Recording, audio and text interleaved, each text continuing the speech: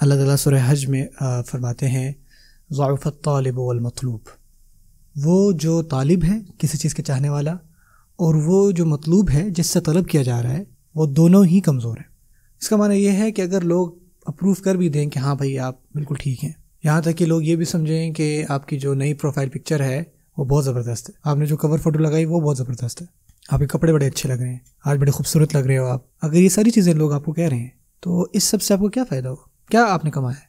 और सुनने से क्या होगा? आप मजीद कमज़ोर होते जाएँगे क्योंकि आप कभी भी कामलियत को नहीं पहुँच सकते। कभी ना कभी ऐसा होगा जो लोग आप पर तनकीद करना शुरू कर देंगे। आप कभी भी सारों को मुतमिन नहीं कर सकेंगे। लोग हमेशा आप में कोई ना कोई खामी निकाल लेंगे। और इस सबसे अलग हट कर आप सोचें, आप किसका प्लेजर या किसका अप्रूवल मांग रहे हैं? अब मैं यूजीबुलमस्तरा दा व यकशिफ़सू कौन है जो आपकी दुआ का जवाब देगा जब आपको ज़रूरत होगी? अल्लाह क्या अल्लाह के साथ कोई और भी इला है? यानी अल्लाह ताला के अलावा भी कोई है जिससे आप ये उम्मीद लगाएँ? इससे आपको क्या फ़ायदा है? और सबसे हैरानी की बात यह है कि आज इक्कीसवीं सदी में लोग ज़्यादा कंसर्न हैं खुशी की इल्यूजन्स के साथ। यानी वो ऑनलाइन तो बहुत खुश हैं, लेकिन एक्चुअल में नहीं। सबको ये लगना चाहिए कि मैं बहुत खुश हूँ ऑनलाइन में बहुत खुश हूँ, जबकि हकीकत में ऐसा नहीं है।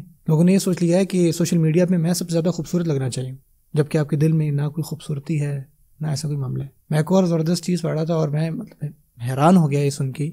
आजकल कुछ लोग ऐसे हैं एक क्राइटेरिया एक ये भी है, जब रिश्ता हो रहा होता है किसी का तो बहुत सारे लोग ये भी सोच रहे होते हैं हकीकता मतलब ये उनके डिसीज़न का एक हिस्सा होता है, कि ये कितना अच्छा लगेगा मेरे साथ जब मैं अपनी फेसबुक की प्रोफ़ाइल पिक्चर लगाऊँगी, या कवर फ़ोटो पे हम दोनों कितने अच्छे साथ लगेंगे। शादी की तस्वीरें कैसी आएँगी? आप मान सकते हैं लोग वाकई ये सोच रहे होते हैं कि हमारी शादी की तस्वीरें साथ कैसे आएँगी, जब हमारी शादी होगी और नई नई शादी नई नई शर्टें, मैं इसकी हूँ, ये मेरा है ये सारी चीज़ें जो शुरू शुरू में चलती हैं। आप सब कुछ जो है वो ऑनलाइन अपलोड करते हो और देखते ही देखते हो तस्वीरें डिलीट होने लग जाती हैं। लोग पूछते हैं हाँ, अब क्या हुआ?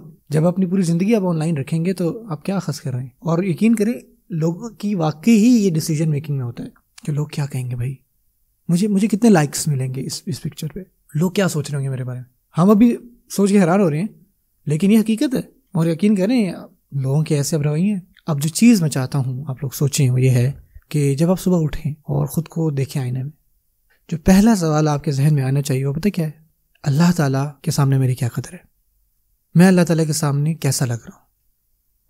जब मैं सुबह उठता हूँ, जो पहली चीज़ मेरे जहन में आनी चाहिए बजाय ये कि लोग मेरे बारे में क्या कहेंगे या सोचेंगे, या मैं कितना इन फ़ैशन हूँ, या किस तरह लोग अप्रूव करेंगे, जिस तरह मेरा रहन सहन कैसा है, क्या लोग समझेंगे कि मैं खूबसूरत हूँ या नहीं? बल्कि सबसे पहला सवाल ये होना चाहिए कि अल्लाह ताला मुझसे राज़ी हैं? देखिए, अल्लाह ताला मेरी तरफ़ देख रहे हैं। क्या इस वक्त अल्लाह ताला मुझसे राज़ी हैं? क्या अल्लाह ताला को पसंद है?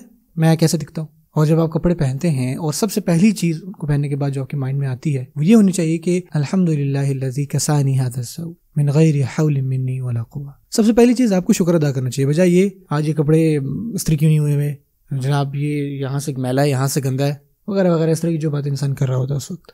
इसके बजाय पहली चीज़ आपके जहन में यही आनी चाहिए, अल्हम्दुलिल्लाह कसानी हादसऊ तमाम तारीफ़ें अल्लाह ताला के लिए हैं, जिसने मुझे ये कपड़े पहनाए।